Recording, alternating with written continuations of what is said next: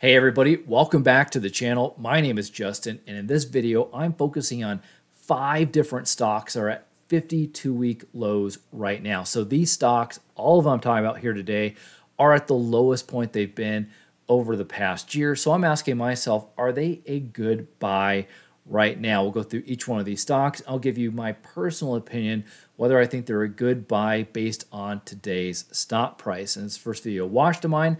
Again, my name is Justin.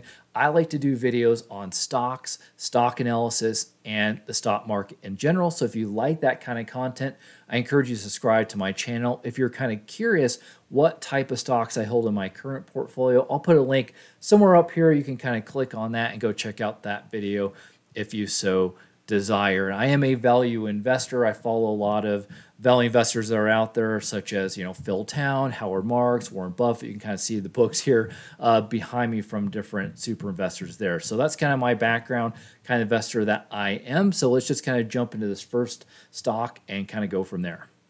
All right, so the first stock up on the list is PayPal stock. Ticker symbol PYPL. The current stock price is around $57. The 52 week low is $56, so it's not far off from that. Now, PayPal operates a digital payment platform. Competition in the space has grown quite a bit over the past few years, including Apple getting into the space. Brand names include PayPal, Venmo, Xoom, Hyperwallet, and Braintree. Current macroeconomic pain and uncertainty has hurt PayPal over the last year or so. Their total payment volume could continue to drop and push more pressure down on their margins. Currently, their forward PE is around a 10. Some recent catalysts for the company include hiring a new CEO, Alex Chriss, who was appointed from Intuit. And also, Venmo is now offered on Amazon, which should help sales moving forward. So, what are my thoughts on PayPal? Well, I think the stock looks pretty darn cheap right now, especially with that forward PE being around a 10. And analysts think the net income is going to grow 15% per year over the next few years. So that forward P of 10 looks really, really cheap.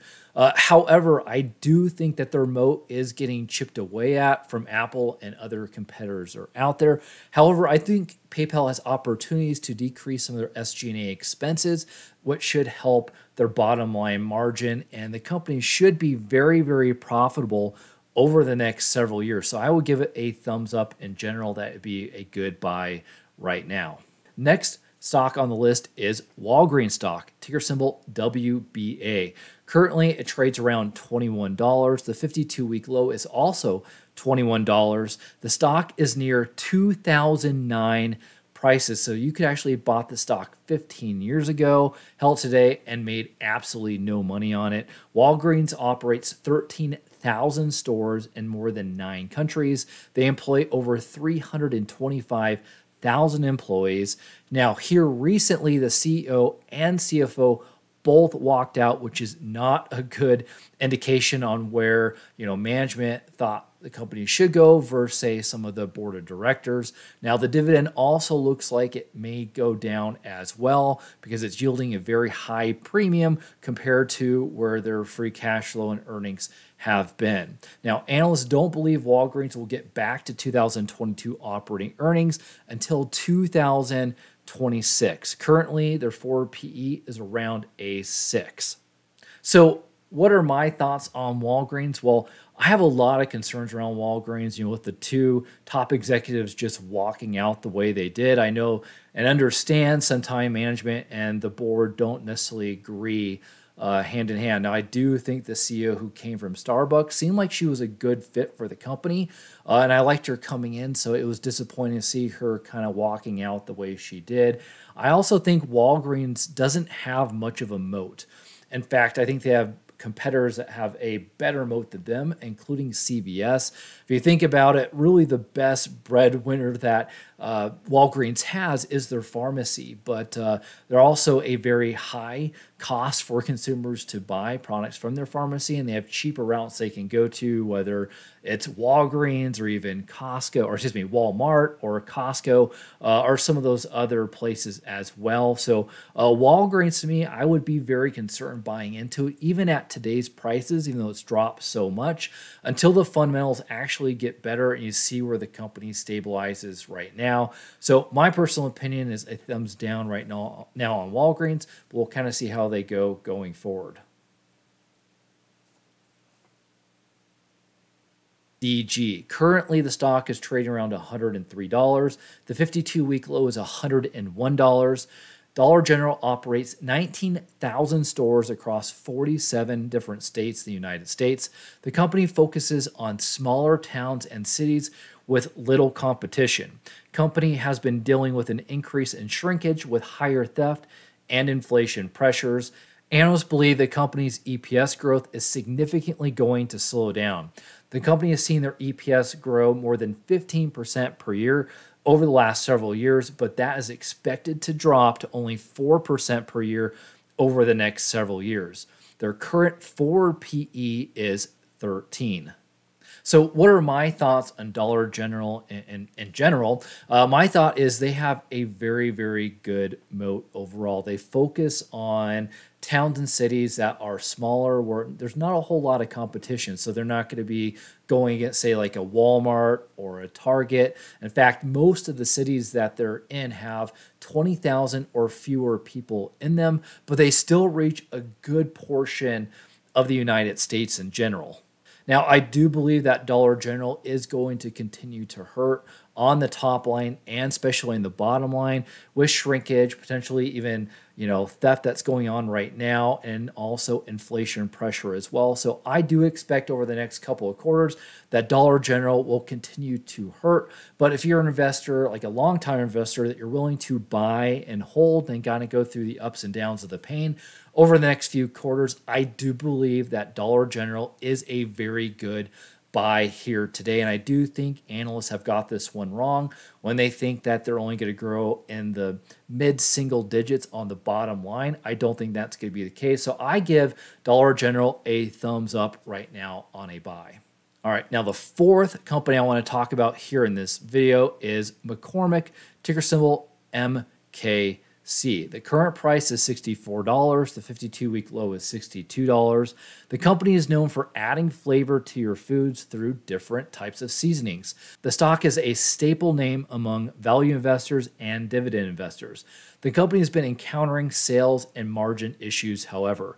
Their SG&A expenses recently grew by double digits, but their sales in the Americas only grew 1%, while Asia Pacific dropped by more than 15%. The current forward PE for the company is a 23. Now, analysts expect the company to grow the top line of only about 4% per year over the next few years, with EPS increasing by more than double at 9% per year. Now, this is somewhat similar to how the company has performed over the past several decades. So, what are my thoughts on McCormick just in general? Well, I think the company's operating margins are absolutely incredible. I mean, they've been around the 15 to 18% range with gross margins being around 35 to 40%. So their SG&A expenses in general are very, very low compared to the industry and a lot of other industries in general.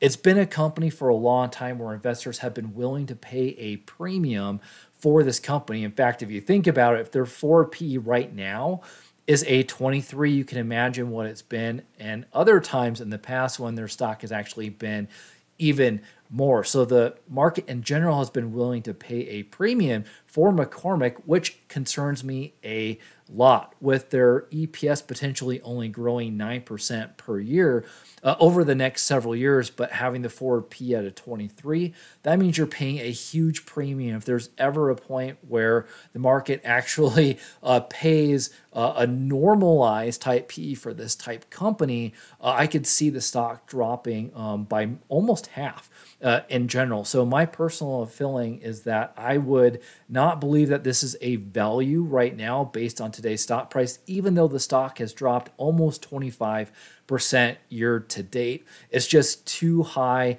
It's just too much of a premium right now, even after this fall. So I would give McCormick a thumbs down right now to buy. All right. Last but not least on this list is Citigroup, ticker symbol C. The current price is around $40 a share. The 52 week low is $38. Now, Citigroup is the fourth largest bank in the US. The stock has not been good to investors over the last decade. In fact, the stock is down 20% from its highs in 2014. So if you bought this stock almost 10 years ago, held today, you have a 20% loss. So obviously not good. The company stock has yielded some of the worst return on intangible common equity among the five biggest banks in the US. However, the current CEO has a strategy to improve their bottom line. They have identified 13 markets where they are shutting down bank branches. These markets yielded the lowest margins for the business, so this should improve their margins going forward. The revenue should drop, but the bottom line margins should grow. Currently, their forward PE is around a 7. So, what are my thoughts on Citigroup stock? Well, I think it's kind of the opposite of McCormick, where the investors or stock market has been willing to pay a premium for McCormick. They are not willing to pay a premium for Citigroup. And I think where McCormick may come back down to earth at some point, I think the Citigroup stock has a potential of actually going the other way in a positive realm. So even though they've been of the worst performing banks over the last 10 years. I think with the new CEO and where they're trending, I think the stock has a chance to double over the next year or two if they can execute correctly on their current strategy. In fact, the current book value per share for Citigroup is the cheapest it has been in the last 10 years. So I think there is a lot of value to Citigroup stock right now. Now I do understand banks in general have been hurting and in when in high inflation environments that we're seeing right now, it doesn't help banks, but I do think Citigroup is at a very good valuation if you're a long-term investor willing to buy and hold. I do think it's going to perform very well long term. So I would give Citigroup a thumbs up to buy at this time.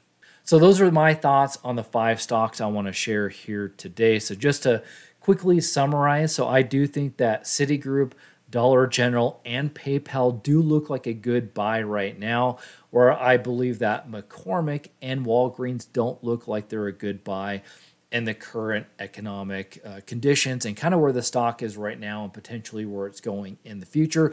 But I'd be curious from you guys do you believe me? Do you agree with me? Uh, do you feel indifferently? Let me know down in the comment section. Let me know about another stock that you're looking to buy that might be at the 52 week low. I would love to hear from you guys. Thank you so much for watching. I'll catch you on the other side. Take care and God bless.